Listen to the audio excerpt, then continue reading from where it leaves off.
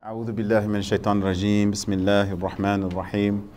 الحمد لله رب العالمين والصلاة والسلام على أشرف الأنبياء والمرسلين وعلى آله وصحبه أجمعين. اللهم انفعنا بما علمتنا وعلمنا ما ينفعنا وزدنا علما. والحمد لله على كل حال. سبحانك لا علم لنا إلا ما علمتنا إنك أنت العليم الحكيم. اللهم إني أعوذ بك أن أدل أو دل أو زل أو زل أو أدلم أو أظلم أو أجهل أو يجهل علي So inshallah, I just, uh, I thought this would be good. Um, you know, sometimes people miss, miss the session or, you know, they, know, they, don't, they don't know where we're at in the class. So inshallah, what I'm going to always do is um, try to have, like, just show everybody where we are. And another point that I wanted to do with this is, um, you know, to show that this is a science in Islam. You know, it was a couple of people that approached me the last class, and they were like, "Just get to the good stuff. Like, just, just, just get to the like, how do we purify?" And it's like that's not how you teach. You have to lay the foundation, so that you can always go back and say, "You remember this? That's why you do this." You remember the companion that I told you about, about such and so and so and so? That's the reason why you have to do this. So you have to lay the foundation first. If you just jump straight into it, you miss everything. You miss everything. Now, there's some literature that does that, but they're already expecting you to have a foundation, right? There's a lot of books that are written, you know, you know and they, they go into, um, you know, things that are for somebody who's already seasoned, all right? Uh, so for like, let me give you an example. We have many Muslims who will go and they'll pick up a hadith collection. like somebody will pick up Sahih al-Bukhari. If somebody picks up Sahih Bukhari and they don't understand the science of hadith, they will make a lot of mistakes. They will make a lot of mistakes. Because Imam Bukhari, rahimahullah, did not write his Sahih for the layman. He, he, he did not write it for the layman. There is so much that you have to understand before you even approach that book. You bring any scholar worth their weight and ask him that. He'll tell you, yeah, that's right. When you're studying Islamic sciences, the Sahih of Bukhari, the Sahih, of Imam Muslim, those are some of the last books that the scholars study. Because there's a lot of stuff that you need before that. You need to understand the Arabic language. You need to understand the classification of fiqh. You, under, you need to understand the differences of opinion. There's a lot of things that you need to understand before you approach that book. And in all of the Islamic sciences are like that. All right? And so this one is no different. We're talking about purifying the soul. We're talking about trying to draw near to Allah subhanahu wa ta'ala. And it's a serious matter. It's a very, very serious matter. Okay, so we started off, the very first session was just, we're just like, like, what do you mean purifying the heart?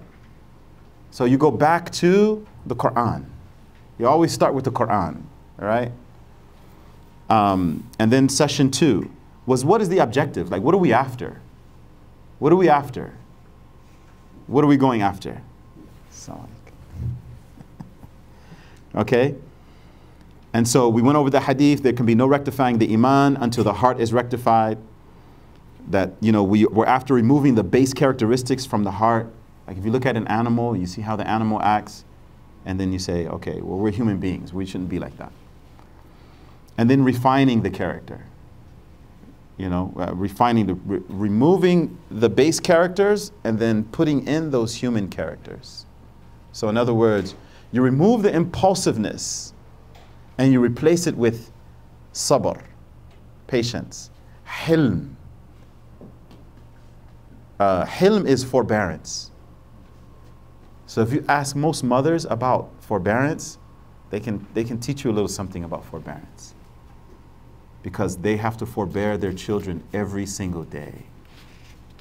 That, that just, the, the child causes you pain, the child causes you harm, the child is impulsive, and you have to slow down and be with the child despite the harm. That's forbearance. So, um, that's part of uh, uh, refining the character. But then why are we refining the character? To ultimately draw near to Allah subhanahu wa ta'ala. To have experiential knowledge of Allah subhanahu wa ta'ala. Not because you read it in a book, not because someone told you, because you experienced it directly. You experienced it directly. Uh, and I'll give you some examples, right? But anyway, session three was about contrasting the physical heart and the spiritual heart. Right? So because sometimes when you talk about the heart, everyone is thinking about the flesh that's inside. Right? The flesh, the, the, the, the, the heart that's beating. But within that physical thing that's beating is that's where the psycho spiritual material is. That's where the black dots are that Rasulullah said appears on the heart. He's not talking about this physical thing that's beating. If you take that out of somebody's heart and you look at it, you're not going to see any black dots unless he has a physical disease. But you won't see the spiritual diseases there. Okay? You have to be able to see his spiritual form and then see the spiritual heart that's part of his spiritual form to be able to see that. So the first thing that you have to understand is that just like you are physical, you also are spiritual. And like you have spiritual eyes, you have, I'm sorry, you have physical eyes, you have spiritual eyes. You know, uh, okay. Think about this for a second. Just think about this for a second. You have physical eyes. Right now you can see me. Right now you can see people coming and going. You can see that right?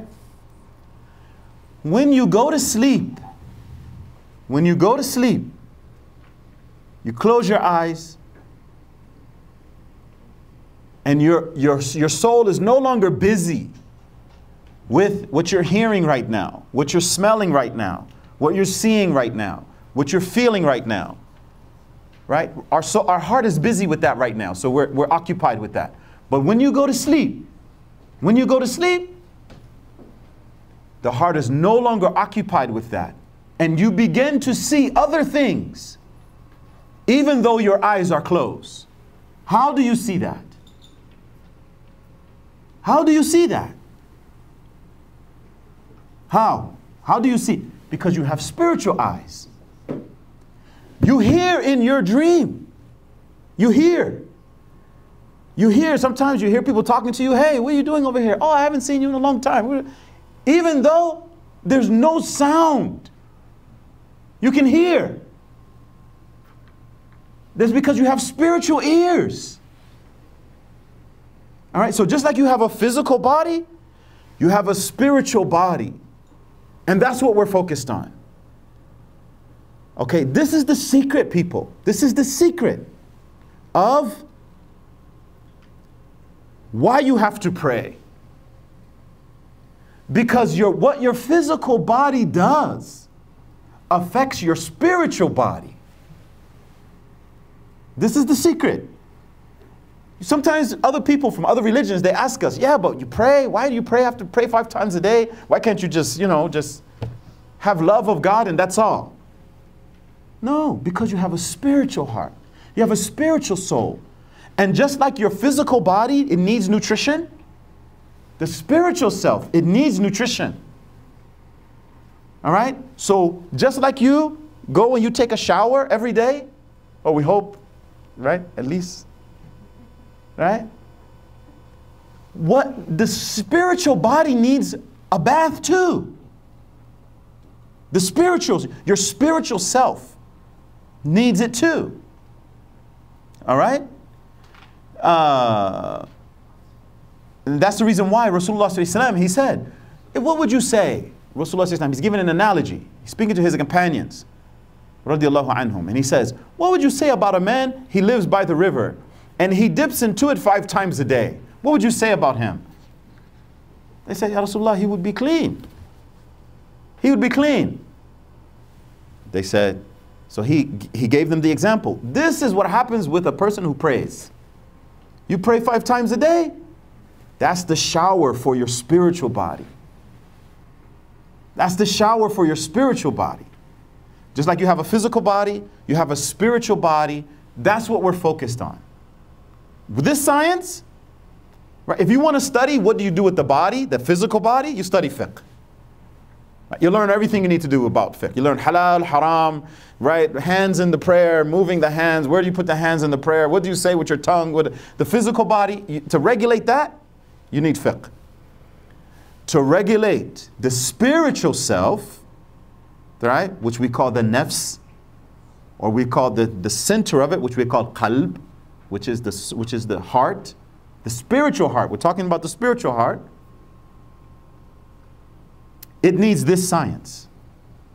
It needs how do you purify the spiritual self? The human being is both.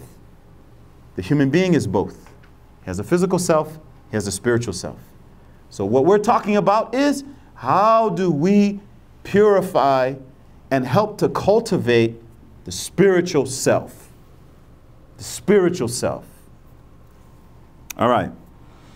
So that's the reason why I wanted to do session three, contrasting the physical heart and the spiritual heart so you can know the difference. All right? The physical heart does this. And I gave you all the examples. The physical heart pumps the blood through your veins. The spiritual heart is what earns. It earns the sins. It earns those black dots right? Or it becomes illuminated by dhikr and prayer and salawat al nabi and recitation of Holy Quran. Okay? That's, the, that's what's happening in the spiritual heart. The physical heart, it, has a, it, it deals with pumping blood. When Rasulullah was talking about the heart, when he's talking about the heart, he's talking about the spiritual heart for this science, for this science. All right? So, session four, that's today. This is the fourth session. Whenever you want to talk about purification of the self, you need a model. You need a model. You need people who have done it. So you look at the companions of the Messenger of Allah وسلم, who Allah subhanahu wa ta'ala mentioned in the Quran what they were up to. what they were up to. All right? You always have to look at this group of companions of the Messenger of Allah sallallahu when you want to focus on purification of the heart. You have to look at what's known as the Ahlul Sufa, right? These are the people of the veranda. Sufa in Arabic, it means porch or patio or, you know, veranda. Because when Rasulullah when he moved to Medina, many of his companions, some of his closest companions that came from Mecca, they were very, very poor. Very poor. How poor? When we think of poor, we think of, oh, I have to go and get food stamps. Right? What if there's no place to go and get food stamps? What if there is no goodwill to go and get used clothing? That poor. They describe some of the companions of the Messenger of Allah وسلم, that they would wear wool. Right? Like if you slaughter a sheep and you take you peel off the wool from the animal. Has anybody slaughtered in here before? Slaughtered an animal? Right? And then you skin it, right? And then you have to cure it so that it can be worn. Okay, so that so the leather underneath doesn't have the smell and the, and the, the fur doesn't have the smell. All right? They were so poor that they would make their clothes out of these hides, but when they began to sweat, this is in the hadith, you can read it for yourself. When they began to sweat, they would smell like sheep. They would smell like sheep. Sometimes when we read, we talk about the companions of the Messenger of Allah, we talk about, we talk about all of the success that they had. We don't talk about the struggle that they had. So let's talk about the struggle. Because that is what made them awliya. That's what made them awliya. You read any history book written by non-Muslims, And you, you, you, you know, they'll tell you Islam exploded out of the Arabian Peninsula and they conquered the whole known world in less than a century. How did they do that? People who were backwards and, you know, they used to have all these heinous acts. You know, the, in the Roman literature, they used to call the Arabs, and no offense, but this is just what they used to call, they used to call them lizard eaters. No one was worried about colonizing. The Romans tried to colonize the whole world. They didn't want anything to do with the Arabs. Why? Because they considered them backwards. you can't civilize these people. You can't civilize them. That was their thought. So when Rasulullah sallallahu alaihi wasallam, uh, right? So just just building on that a little bit, right? That's the secret of placing the Kaaba in Saudi Arabia. That's the secret of that. Because at first, right, you have all of the prophets, they're going to Jerusalem. They're going to Jerusalem. And then all of a sudden you have this last prophet, alayhi salatu wasalam, coming out of a place where nobody knows anything about, nobody wants to know anything about. Like what? Somebody's coming out of Arabia and he's saying that he's the messenger of God, and then they start putting in one and two together, like, oh yeah, yeah, that's right. Ishmael used to go there. Oh, yeah, the, the, the, the, the, the you know, uh, the Jews used to make pilgrimage. They did. The Jews used to make pilgrimage from Jerusalem to the Kaaba. But as the Arabs became more and more into idol worship, they cut them off. Like, no, no, no, no, no. But then Allah subhanahu wa ta'ala rose. He, he, he brought a prophet from them. Okay? And then these people go on to conquer the world. How did it happen? How? Because they were awliya. There's no other explanation. There's no other explanation. Just think about it. Think about Montana. Think about Montana. Just imagine this Montana, the outback. Nobody talks about Montana. Can somebody tell me the capital of Montana? One of the young people. What's the capital of Montana? What is the capital? Okay, what's the capital of California?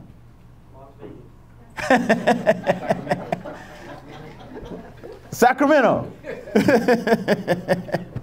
Sacramento, right? Everybody knows. What's the capital of Montana? One of the young people.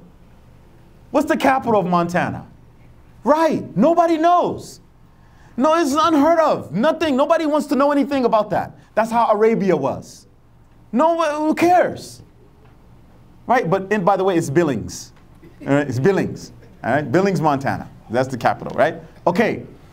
So imagine that these group of tribesmen just come out of Billings, Montana, and they conquer all of America. What? These backwards hillbillies no one will accept that. No one would expect that. That's exact. But if they become awliya, if they become friends of Allah, and we're going to read this hadith so that you can understand what Allah does with His friends, then the situation is different. Then you can understand it. Okay? Then you can understand it.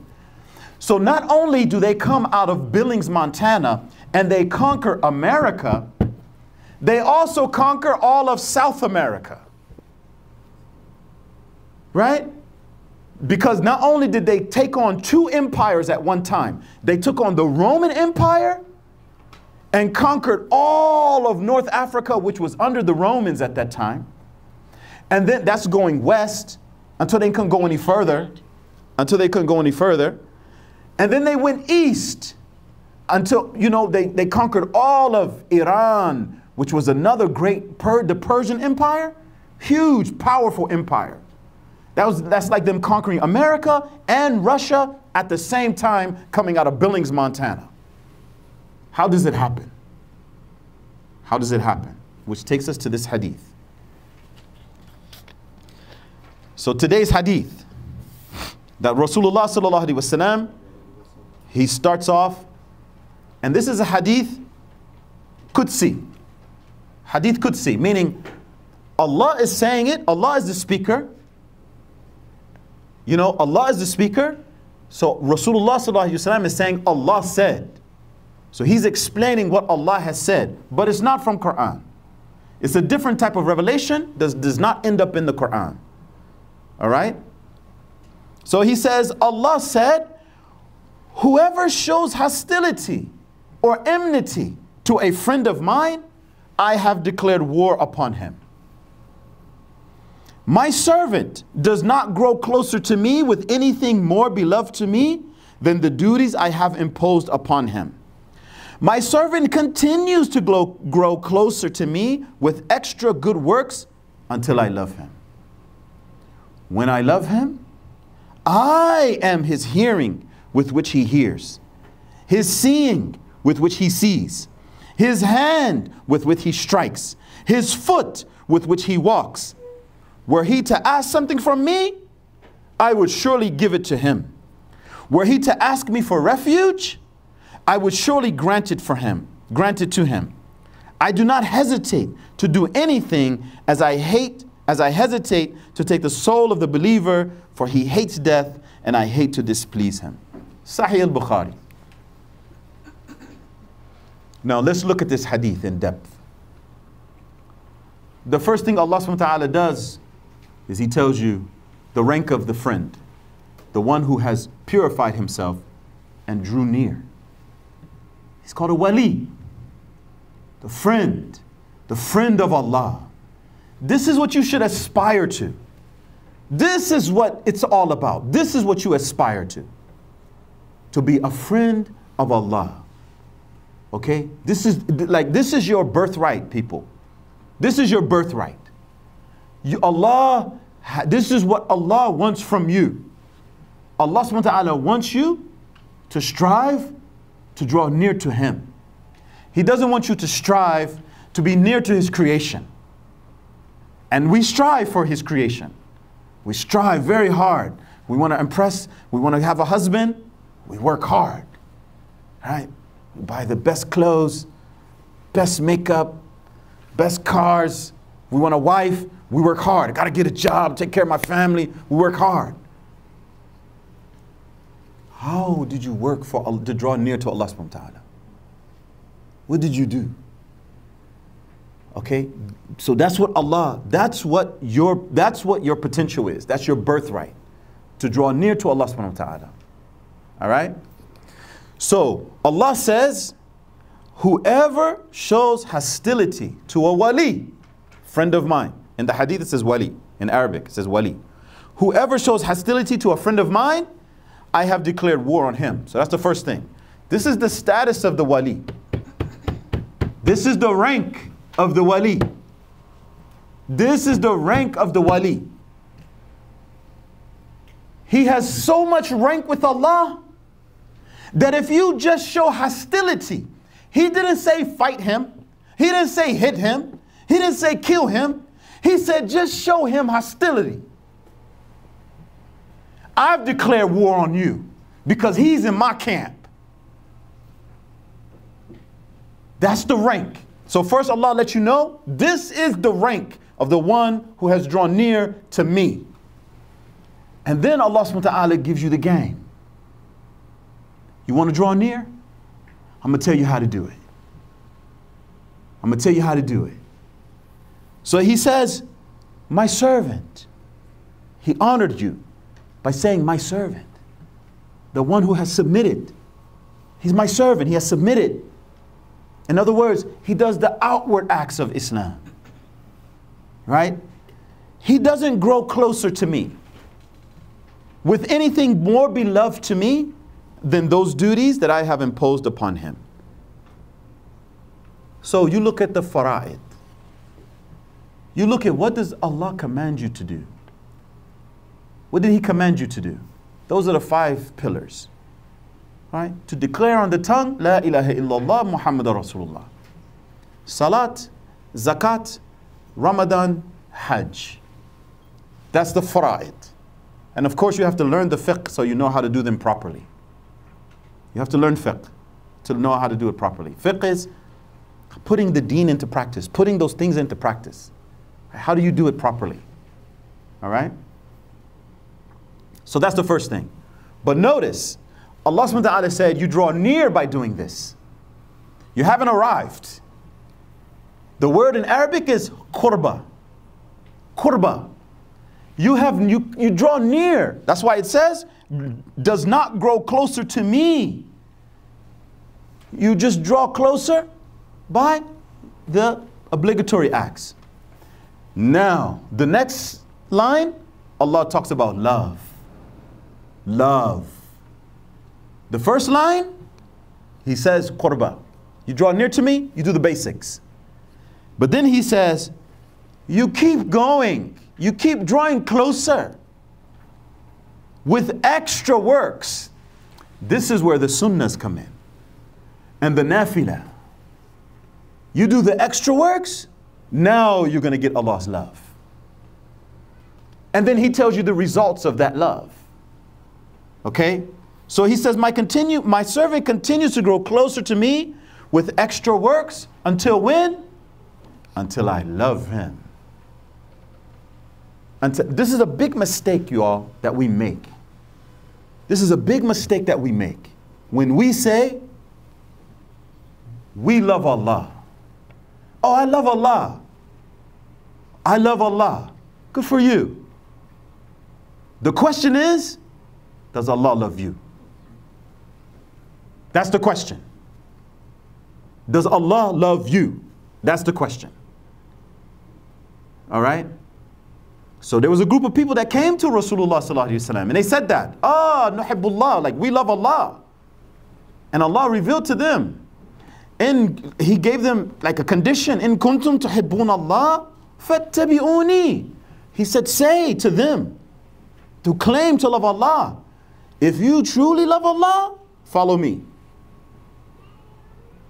يحببكم الله ويغفر لكم ذنوبكم. Then Allah will love you and forgive you your sins. Right? So the question is, how do we earn Allah's love? Here's the answer. Here is the answer. Don't be fooled. Don't let the nafs say, oh, I love Allah, that's enough. There's work to do to earn Allah subhanahu wa ta'ala's love. All right? So then Allah says, until I love Him. He does all these extra things. All right? So if you look at those five pillars, there are extra things that you do. There are extra things that you do. I don't know where the time goes. Uh, there are extra things that you do. So for salat, there's sunnahs. And after the sunnahs, there's nafilah. And included in the nafilah is tahajjud. Right? So for every prayer, there's sunnahs. You wake up for fajr, there's two extra before you pray the obligatory prayer. And the Rasulullah said, don't leave these even if the horses drag you. Meaning, even if you're in a martial situation, you're in a war situation, don't leave these two rakats. All right? These are the most emphasized prayers, the two sunnahs before Fajr. Why? Because they're connected to tahajjud. They're connected to tahajjud. So he's giving you some good advice. All right? And then there's four before dhuhr, the midday prayer, right? The sun reaches the highest point and then declines a little bit. It's time for dhuhr. There's four before the obligatory and there's two after. They're both sunnah mu'akkada, meaning he always did them, he never left them. These are the sunnahs. And then if you want more, pray more after that. And then you have four before Asr. As the sun begins to decline in a little bit, there's four before the obligatory prayer. After Maghrib, the one we just prayed, you pray three, and then there's two sunnahs after it. The three are obligatory. The two after it, they're the extra that he's talking about here, the extra. That's like the prayer. That's for the prayer. Then you have uh, zakat. Right? Zakat's obligatory, but you can give sadaqah every day. If you don't have any money, at least smile. He said, smile. That's sadaqah for you. Just you see someone, Assalamu alaikum, how are you? Huh? Right? Like who can't afford a smile? So, you, so there's ways of doing sadaqah. You can give money, you can give food, you can give help. You, that's all sadaqah, right? Um, and then you have Ramadan. Ramadan is the obligatory. But there's sunnahs that you can do after, you know, sunnahs. You can fast Mondays and Thursdays. You can uh, fast the white days. right? The 13th, the 14th, the 15th. These are the white days, meaning this is when this, the, moon, the moon is full. So those are called the white days. Um, you know, then Hajj, of course, you can make Umrah. Umrah is the extra. So these are all different things, and there's many, many other things that you can do. There's many, many other things you can do to earn Allah's love. Now, when Allah loves you, what happens? And so this is, this is of course, what is this? So what are we talking about here? Right? Allah subhanahu wa ta'ala is mentioning the obligatory acts. He's mentioning the sub, uh, super obligatory acts. But what else? Of course, you have to have good character with this too. You have to give people their rights. All of that falls under like obligatory. You have to have good character. Okay? Th that's the most heaviest thing on the day of judgment. The most heaviest thing. The thing that will be heaviest on the on the scale is how you dealt with the people around you. How you dealt with them. How you gave them their rights. That's the heaviest thing on the scale. So of course, purifying the heart deals with that. Then you earn Allah's love. Now, when Allah loves you, now this right here, the ulama have explained this over and over and over and over and over again. But since we're just beginning, I'm going to give you the easiest explanation. Basically, what's happening here is that Allah is removing your veils. Allah is removing your veils so that you can experience Him. That you can experience Allah subhanahu wa ta'ala intimately. Okay? You can know this is true. That the meeting with Allah is true. That the spiritual realm is true.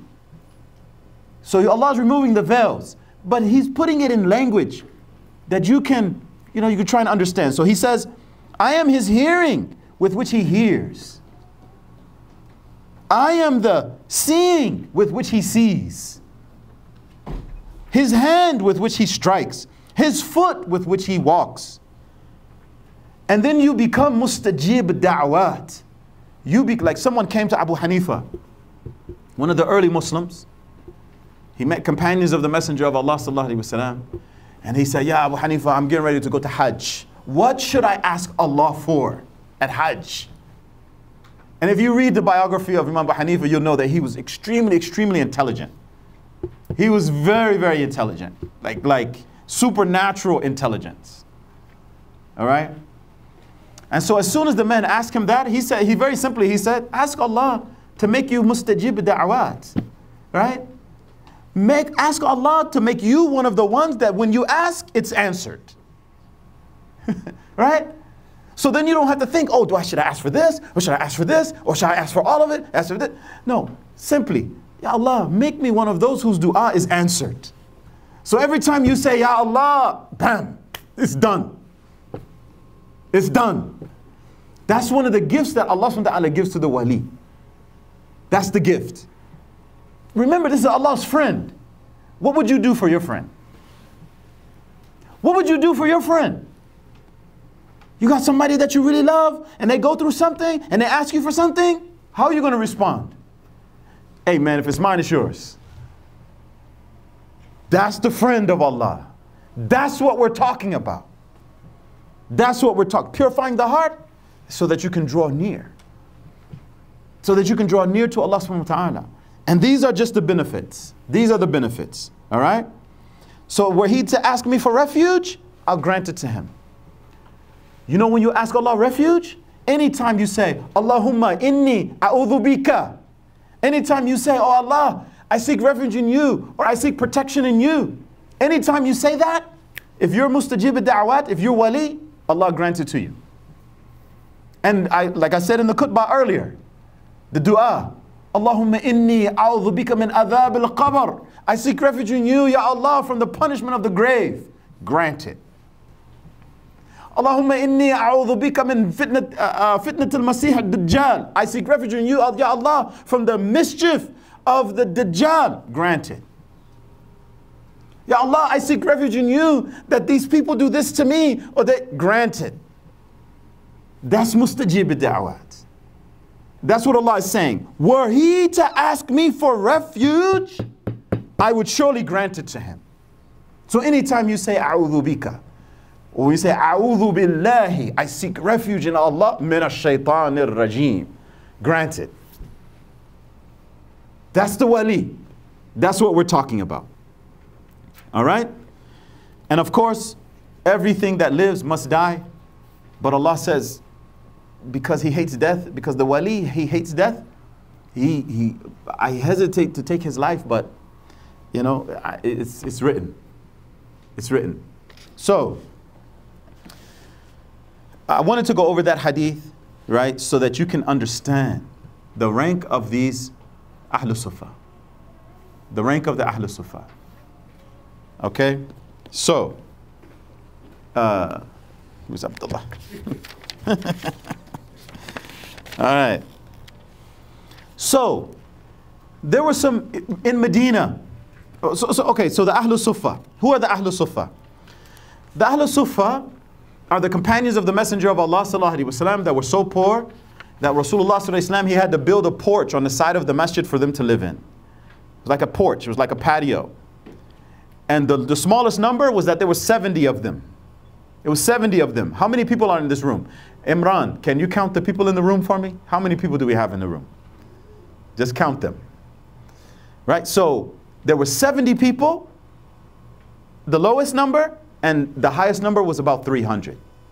And these were the poorest of the poor, of the companions of the Messenger of Allah. One day, the aristocrats of Medina, these are new Muslims, they come to visit Rasulullah and he's surrounded by his poor companions. Who are his poor companions? Khabbab ibn al-Arat, Abdullah ibn Mas'ud, Bilal ibn al-Rabah. Right? All of these people they have this rank with Allah subhanahu wa ta'ala, but at that time, if you were to look at them, you say, who? Who are these people? Right? Some of them were so poor that when they would, they would wear one sheet of cloth, the izar. You know the izar that you tie around your waist? And they were so poor that they did not have underclothing. And so they would tell the women in the back row, because in those days there was no, there was no wall right there, it was just one big masjid. They would tell the women to delay in raising so that they did not see the private parts of the companions who were praying. Poverty. They were impoverished. But these are the ones who became the elite with Allah. The elite with Allah. All right? Abu Huraira, he comes much later. He comes about seven years after Rasulullah went to Medina. He comes much later. But remember, what's the first, what's the first hadith that he narrates? He talks about his situation. When he first came to Rasulullah he had so much lice in his hair. He asked that during the Hajj, could he remove it? He had so much lice. He was a shepherd. Abu Huraira, radiallahu an, he was a shepherd. So, you know, someone who stays with the sheep and always, you know, the sheep have lice in their fur and things like that. So he had a lot of lice in his hair. And they were biting his scalp. And he asked if, you know, if he could remove the hair. And that's when he asked Rasulullah He said, Ya Rasulullah, I hear you say a lot of things But I, you know, I forget what you say. And then Rasulullah told him to come near. And he made dua for him. And now he's the number one narrator of hadith. The number one narrator, more than Aisha radiallahu anha, who's second. And she lived with the Messenger of Allah وسلم, because of that dua. Abu Huraira was one of the Ahlul Sufa. He was one of the people who lived on the bench. He used to be so poor that he used to pass out from hunger. And in those days, the Arabs, you know what I mean? They would put their, you know, like they would put their foot on the chest of the person who they thought was Majnun. They thought he was crazy. Or they would put, if he was on his stomach, they would put their foot on the back of his neck. So he would be in the masjid, and because of hunger, we know the feeling, no food. like, oh God, right? But real hunger, you get up and start moving around, you pass out. That's real hunger. So Abu Hurairah radiallahu anhu, one time he passed out. He passed out from hunger, no food. And some of the Arabs walked up to him and started doing that to him. So when he came to, he said, No, I'm not Majnoon. I'm just hungry. I'm just hungry. That was that these are the people we're talking about, the Ahlul Sufa. We mentioned them today. We mentioned him today. Yes, he's the master of hadith. Yes, he is. Right? But Allah subhanahu wa ta'ala purified them from their desires overtaking them. All right? These were the Ahlul Sufa. One more. Abdullah ibn Mas'ud. Wallahi, he's my favorite companion of the Messenger of Allah sallallahu alaihi wasallam. I love Abdullah ibn Mas'ud. You read all the hadith that he narrated, the time that he had with Rasulullah sallallahu and the arguments and things like that that he had with the different companions, you realize he was, he was phenomenal. Radiallahu an. He was phenomenal. Abdullah bin Mas'ud, he was the number six one to take Shahada in Mecca. Number six. He spent all of his time in Mecca with Rasulullah and all of the time in Medina with Rasulullah. Okay? Very, very poor because he came from a, a, very poor tribe. The people paid him no attention. He suffered a lot.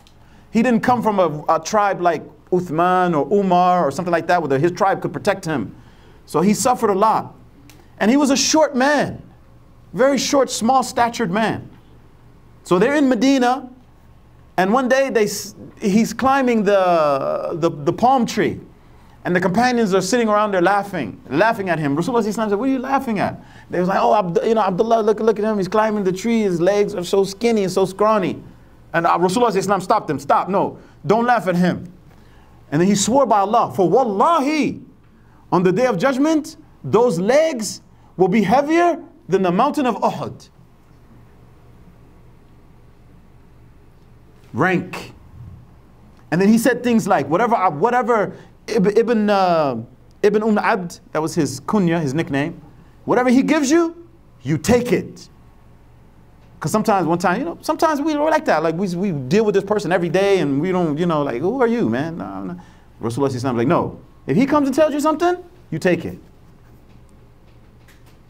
And he also, in the different hadith, he said, there is no part of the Quran except that I can tell you where it was revealed, who it was revealed about, all of the context I can tell you about the Quran.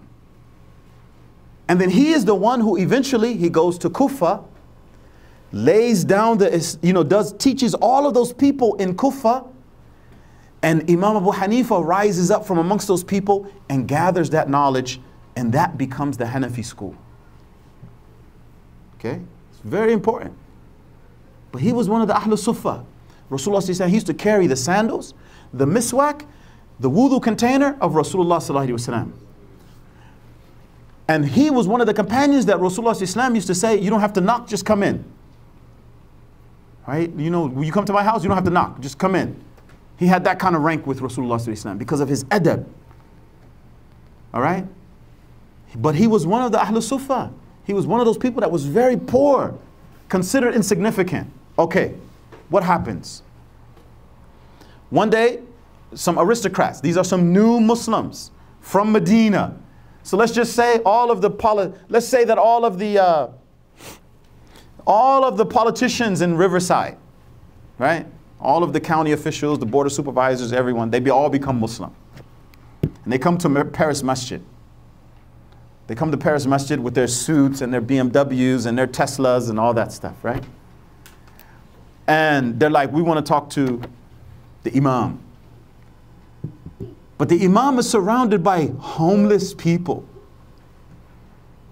He's surrounded by homeless people. And they don't have on any shoes. They smell like the streets.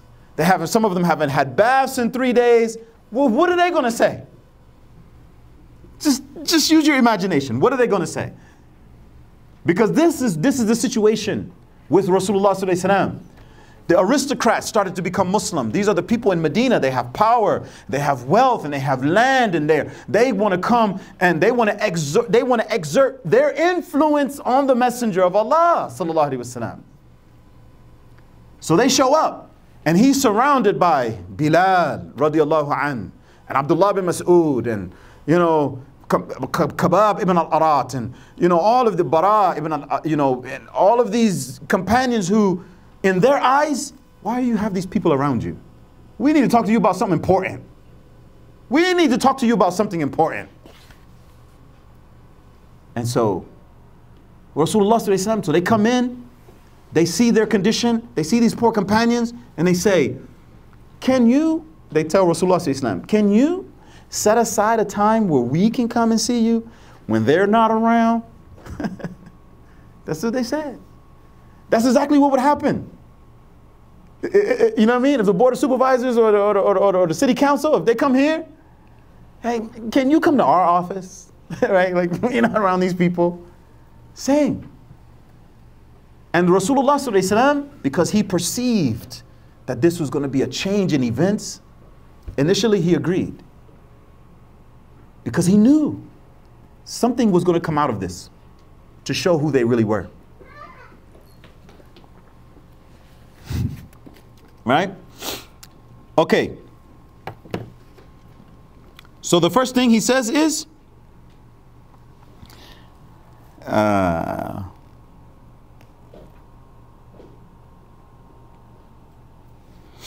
mm.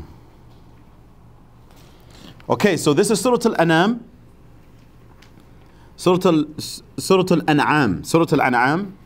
And this is what Allah says. As soon as, soon as Rasulullah Islam agreed to that, he, he didn't agree because he, he, he knew what was getting ready to happen.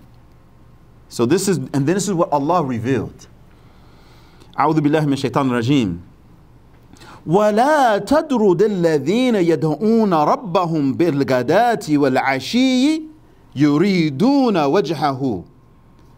وما ما عليك من حسابهم من شيء وما من حسابك عليهم من شيء. فتد آه فتدرد فتد رُدَهُمْ فَتَكُونُ مِنَ الظَّالِمِينَ. Look what Allah subhanahu says. Don't turn away from those who call upon their Lord by day and night. That's how Allah describes them. He didn't say the poor, the misfortunate, the Ahlul Sufa. He said, no, no, no. Those who call upon Allah by day and night. So what is Allah saying here? I'm watching them. The, I want them. Okay?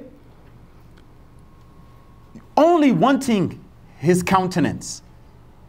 Yuriduna wajhahu. They only want Allah's face. They only want to be near to Allah. That's it. That's all they want. This is how Allah describes them.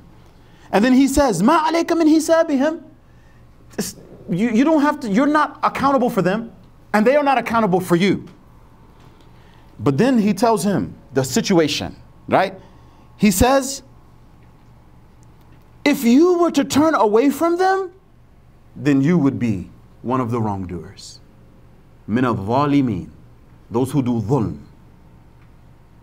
That was the first verse that was revealed about the Ahlul Sufa. Okay?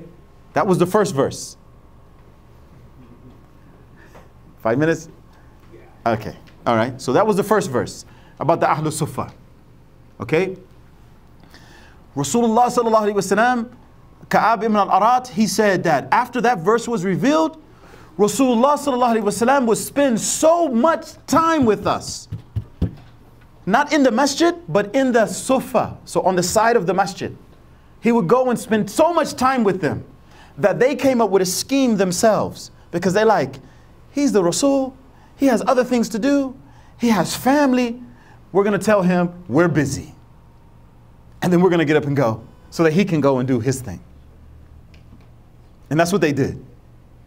They were like, we started telling Rasulullah, Ya Rasulullah, we're busy. We got to, so that he can go. And because he would spend all of his time based on this verse. All right? Now look at this verse.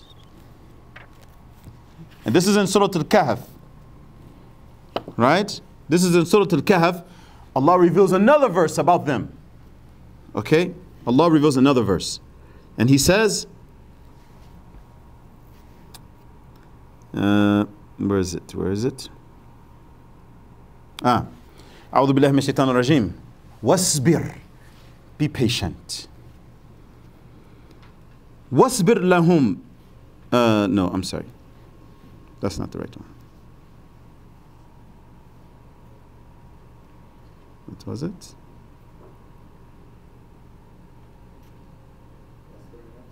Ah, there we go.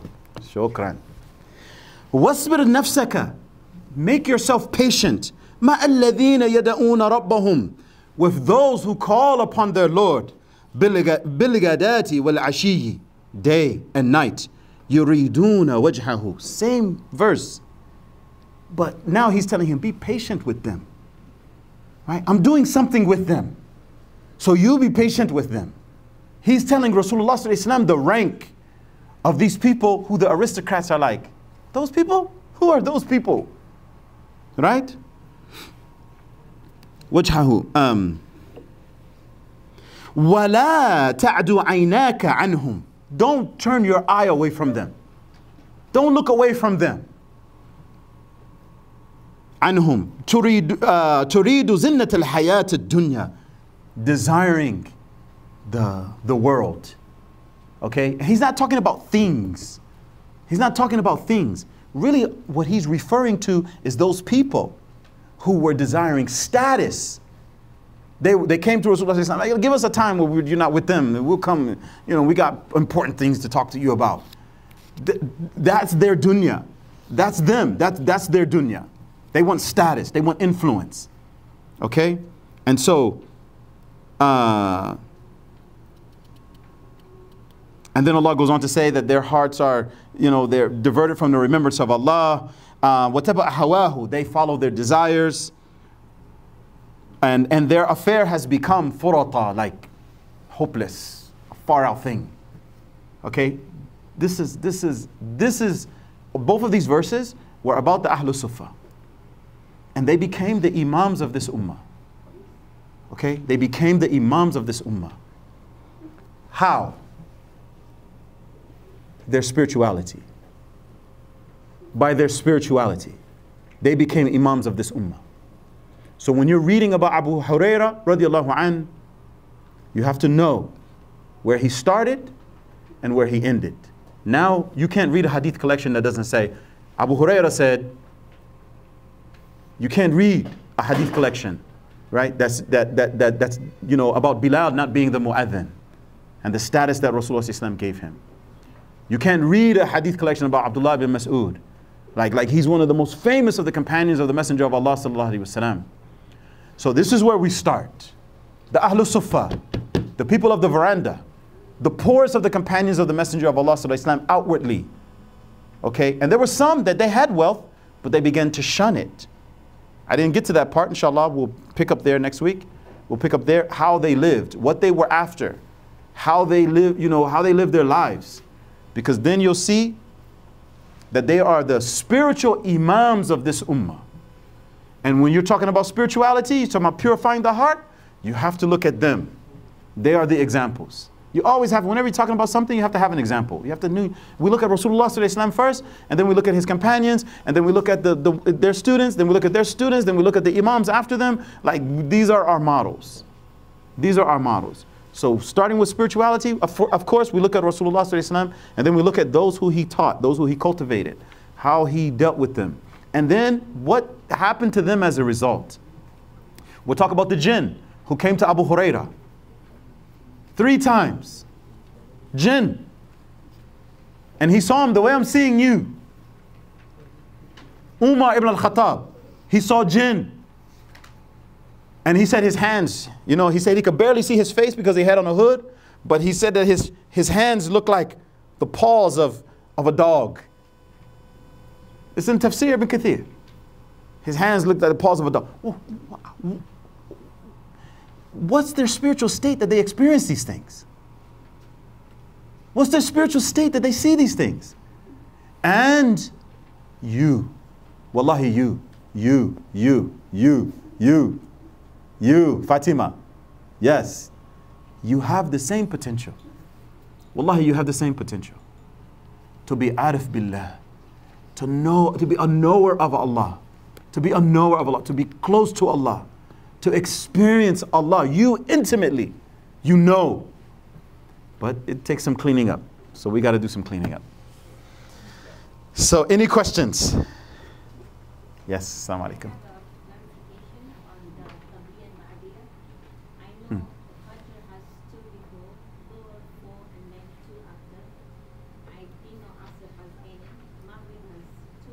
To after. Isha to after. Yes. So what time do you pray the Asr? Uh, what time to pray Asr? No, no, the, the No, there's nothing after Asr.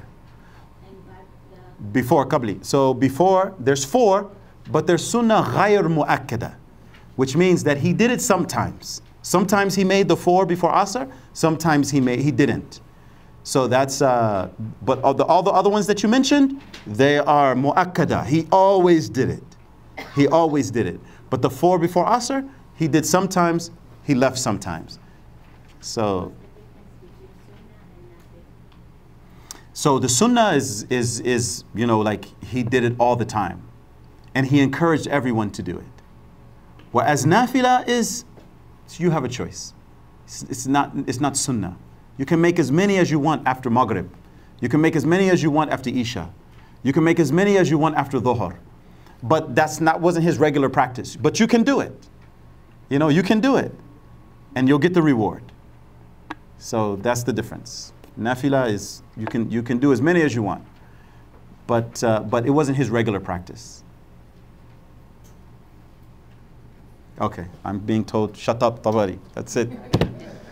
سبحان الله وبحمده نشهد أن لا إله إلا أنت أستغفرك ونتوب إليك. سبحان ربك رب العزة عما يصفون وسلام على المرسلين. الحمد لله رب العالمين برحمتك يا أرحم الراحمين. وصلى الله على خير خلقه أشرف الأنبياء والمرسلين. حبيبنا وشفيئنا ومولانا محمد وعلى آله وصحبه وبارك وسلم تسليما مباركا كثيرا.